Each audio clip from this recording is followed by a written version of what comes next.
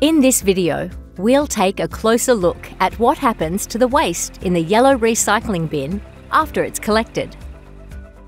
The waste management truck arrives to collect the yellow recycling bin, filled with recyclable materials. The truck transports the collected recyclables to a transfer station, where it is then taken to a recycling facility.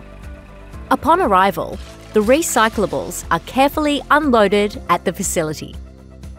Skilled workers and machines at the facility sort through the recyclables, separating different materials like paper, plastic, glass, and metal. The sorted recyclables undergo processing and preparation to transform them into valuable resources.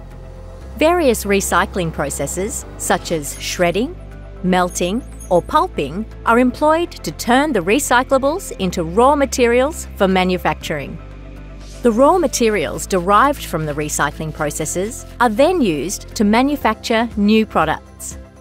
By recycling the materials from the yellow bin, we reduce the need for extracting new resources, conserve energy, and minimise environmental impact.